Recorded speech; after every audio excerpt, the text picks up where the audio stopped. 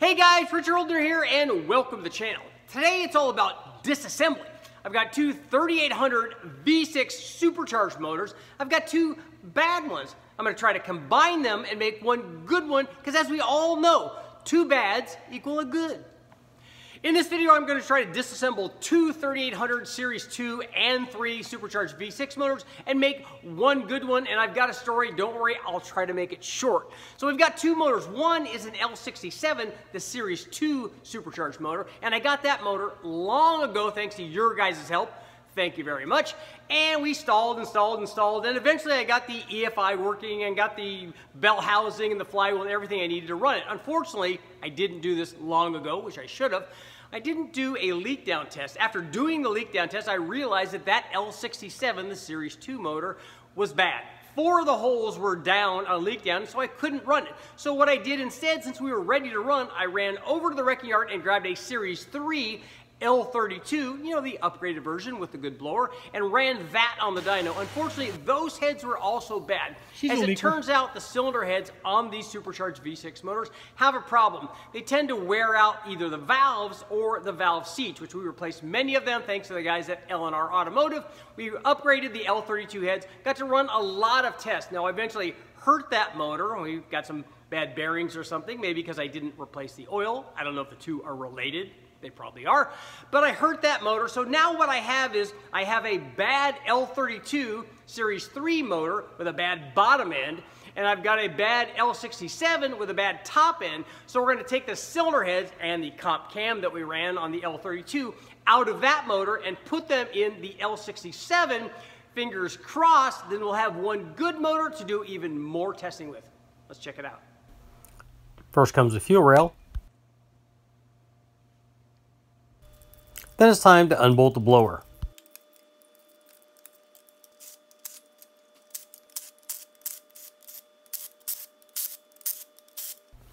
After unbolting all the mounting bolts, I pulled the M90 supercharger off the lower intake. Then it was time to remove the lower intake manifold. With all the mounting bolts removed, I carefully pulled the intake away from the water pump.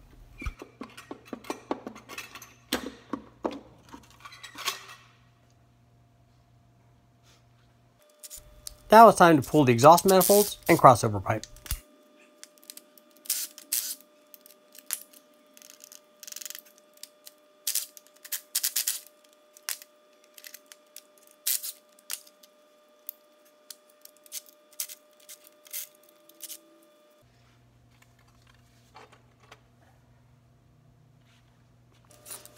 Then came the alternator,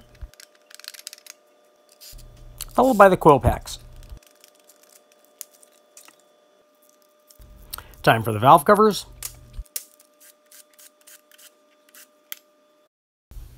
Then the rockers and push rods. Then I removed all the factory head bolts.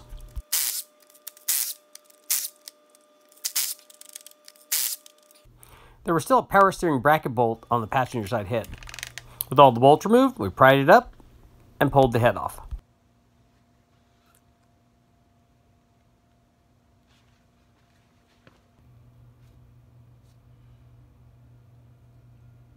If you take a look at this, we've got, uh, you know, some deposits on there, but I don't see a big damaged piston. There's no big chunk out of it or anything. So that's good news. Just got to vacuum this stuff up. Right now, I don't see any big gouges or anything, just stuff that I need to get out of there. I think maybe our head swap is going to work out.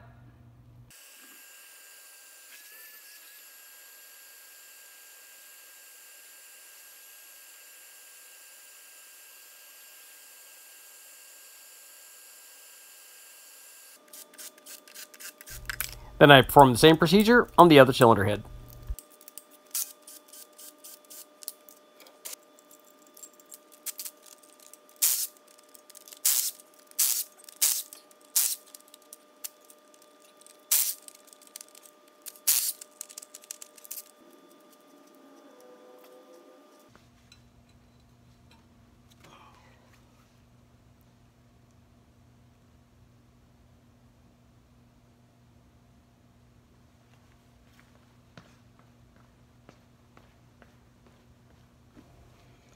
So what we want to look for, we're going to pour some gas in here in the intake port.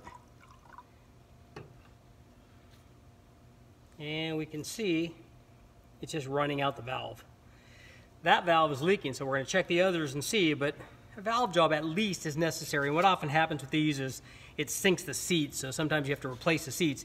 The very minimum, a valve job is necessary.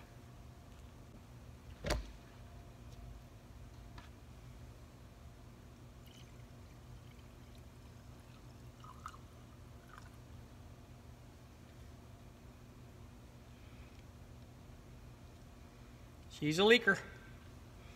So one more over here. I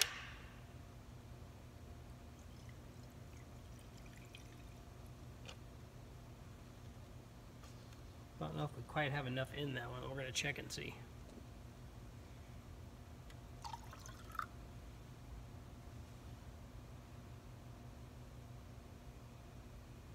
So it looks like we got one out of the two that might be good on that head. Let's check head number two. Oh yeah, that one's leaking. Let's check this one over here. So let's check this one.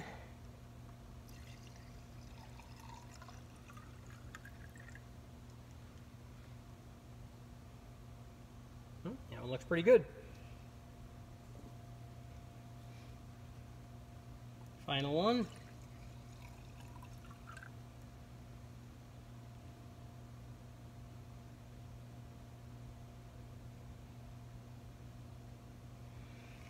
Looking okay. So four out of six are bad. Time to tear down the L32. Same basic procedure as the L67.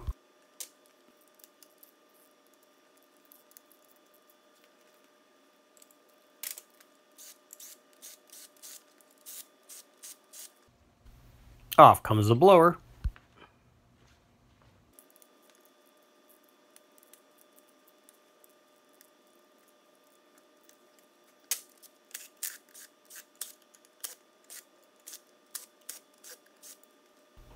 Then the intake. To provide access to the cylinder heads, we need to remove the valve covers and the rocker arms. I pulled the front cover to make sure that the comp cam was not still in the L32.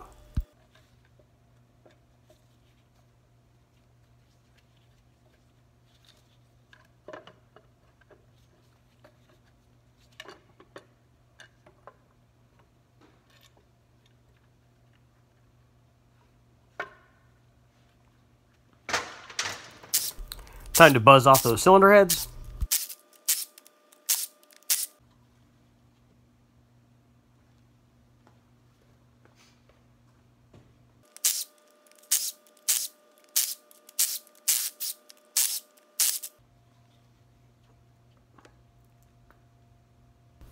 Our reworked heads and gaskets still look great. Make sure on the head gaskets that the arrows are pointing toward the front of the motor. Time to install the L32 heads on the L67 short block. Note we had already upgraded to LS3 valve springs. The heads were torqued in place.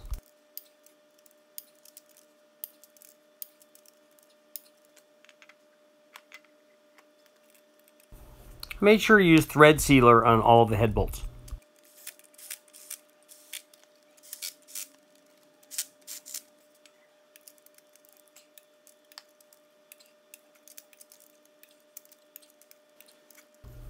Push rods came next, followed by the rockers.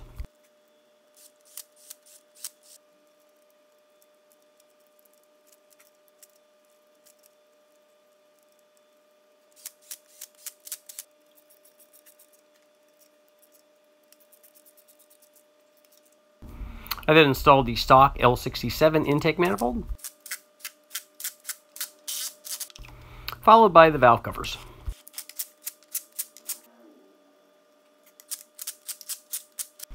Now it's time to install the M90 supercharger.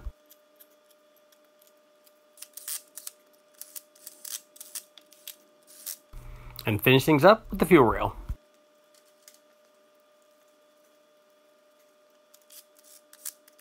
Ta-da! All finished and hopefully ready to test. Okay guys, you can see we have our supercharged L67, L32 hybrid kind of motor because now it has L32 heads on it. We have that motor ready to go and fingers crossed it will go up and run on the dyno. And actually I like the way that this turned out. This is kind of a blessing in disguise. You see putting the L67 intake manifold and blower and bottom end and camshaft on this combination will allow me to do a very cool test. It will allow me to do a direct comparison between the L67 blower and intake because they are a match set and compare that to the L32 upgraded blower and intake manifold, and I wasn't able to do that before. So we have a lot of other tests. I have blower pulleys all the way down to three inches, and we're gonna go even lower later on. I can do water meth injection. We're gonna put the comp cam back in. We can do a lot of cool testing, but one of the things that I wanna do, if this motor is a runner, is I'm going to go to the wrecking yard and gather up a bunch of NA intake manifolds. And I know you might be asking yourself, Richard, why would you want to put NA intake manifolds on a supercharged L67 motor? And that's a good question. And the reason is because I want to test a bunch of the intake manifolds without the blower because we're going to add a turbo. I'm Richard Holdener. Make sure to like, share, subscribe, ring the bell, do all that stuff. I'll keep testing.